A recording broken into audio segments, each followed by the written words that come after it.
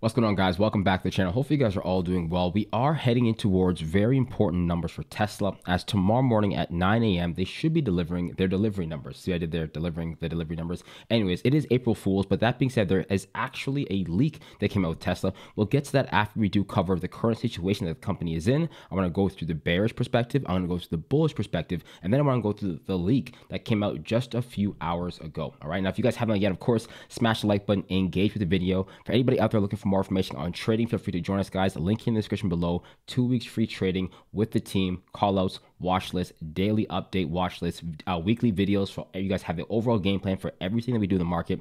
We had a wonderful play this morning with Lyft, a wonderful play this morning with Google, over 150 to 300 percent calls on Google, but I accidentally stopped out at 17 percent. So a big W for me, also a big, big L so far this morning. Just keeping it real. All right, guys. So let's get into this. Right now, what kind of situation is Tesla in?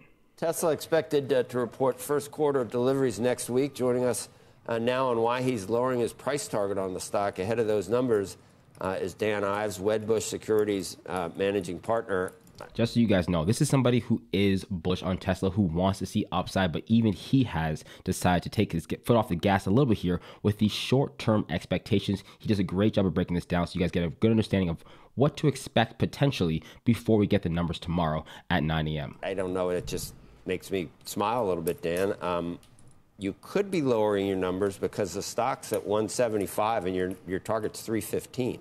That would be one. That'd be a good reason. We'll get all your other reasons, but that, that that's a good start, I think. Uh, but it's a little bit odd. You're you're going down fifteen dollars to three hundred, and you're keeping an outperform rating. All this sounds sort of I don't know too little, too late. Yeah, look, I mean, it's obviously a great point. We're bullish for Tesla on the other side. Well, you must be because you still you still have a three hundred dollar yeah, price target. This challenging what, what, what's that return from one eighty to, to three hundred is? So you're still looking for like a seventy percent return. Yeah, right? and and look, we've been here before. In other words, like there's no doubt, and we call it out. I mean, this is a code red situation for Tesla. I mean, they are going through some dark days in China from a demand perspective. But but Joe, I believe on the other side of this this is a company, not just from an FSD perspective, but from volume that could start to get two and a half, three million vehicles per year as we go into next few years. Our whole point here is you're in between two growth waves here. They clearly need to lay out a strategy for investors because this is going to be a rip the band aid off delivery quarter next week. And, and there's no smoke and mirror about it. And you know, I think right now for Musk, I kind of view it as a fork in the road period to handle the investors through this? You are pretty blunt. First quarter deliveries for Tesla, and we'll find out next week, but you expect it to be a nightmare quarter because of China and mm-hmm. China demand. Yeah, I mean, China, we, we originally had that up 3 4%. It's going to be down 3 to 4%. And, and the issue swing. here. And the issue here is just that, that Game of Thrones price war that's happened in China with EVs it's it's hurt Tesla, and I think right now the problem is, do they continue to cut prices, or, the, or do they ultimately hold serve and focus on where demand could be? And I think as much as we talk about FSD and why we're long-term bullish, and I do believe we're sitting here a year, year and a half now at a trillion dollar plus market cap. Yeah. So when we were up at 300 or 299, wherever it was I, I, get at that point were you still worried about supply and, and you didn't see the demand issues coming? Yeah. I, now, when he says between two waves, seeing one growth wave from one perspective, I think he's talking about specifically EVs to another growth wave, where I think he's going to be speaking about a little bit more FSD and AI. That's the real two waves he's speaking about here. Now, if the most one of the most bullish people on Wall Street also has a very bearish perspective here, there could potentially be an upset towards the upside for Tesla, but we'll get to that after this is finished. If you guys haven't yet, of course, smash the like button, engage with the video. Let me know if you guys think in the comment section below whether they are going to beat or miss the deliveries. Let's go. I think where we were dead wrong is underestimating just how bad China demand was going to be. China demand. So, for us, when I look back, that's really what's caught us, I think, many by surprise in terms of just how quickly demands come off, but also with no adult in the room and with two disaster conference calls in a row, they haven't laid out guidance, they haven't given the strategy. You've had other noise in terms of the AI issues with Musk and, and obviously the Delaware comp issue, which is added to it. But I think that that's the problem. They haven't laid out the strategy to where investors right now feel like they're blindfolded playing darts. Do you you have a price target in terms of 300, but do you think we're near a low here? depending oh. on what happens last next week? I mean, I think right now a it's lot of the bad news is. Ba- I mean, we wouldn't be bullish if I didn't think that this stock is. is Why not put a buy on it then? That these are highest rating. Outperforms your highest rating. Outperforming. Okay. It's on our top picks list, and I just view it as we've been through these white knuckle periods before over the years. This is another one now that we're hitting, and we're just calling it out.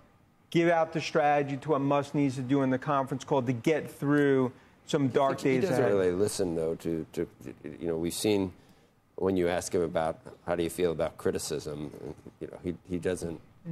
He's going to do what he thinks is right, and, and, he's in a position to be able to do that. No doubt, but I do. Will think... he get? Will he? You said no adults in the room. You think he'll return to, to, to giving the street what it wants in these calls? Well, I think. Every- I think. I think what he's trying to break down here is the very simple fact that at this point in time, with the situation that Tesla's currently in, with the current pullback, we've seen it time and time again. He's very right. And I think we kind of have enough here from this interview to get a great perspective on what the upside and downside could look like here. I want to look at Tesla, the actual stock itself.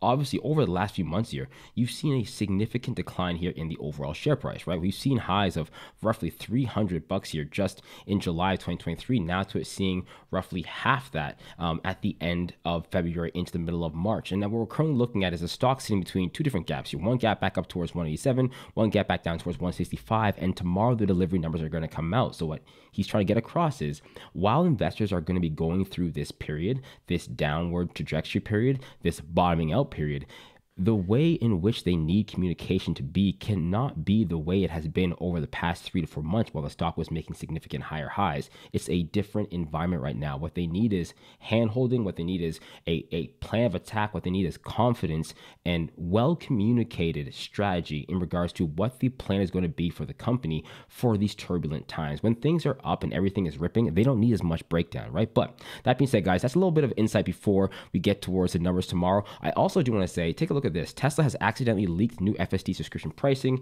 Should be easier to keep enjoying FSD after the free promo expires in May. So it says here, um, you know, $69 per month.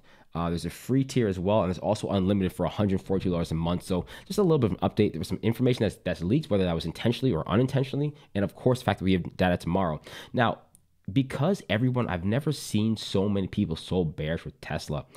I could actually see Tesla, you know, beating the lowered expectation numbers here and seeing some short term upside, even if I were to just gap up and then fill the gap right back down after open, I could definitely see Tesla gap up because it, it wouldn't have to do that much. The expectation from across the board right now is that they're going to miss even with the lower expectation numbers. So even if they come in a thousand cars higher than the lowered expectation, it's still a beat. And to me, it's like the bar is set so low for Tesla.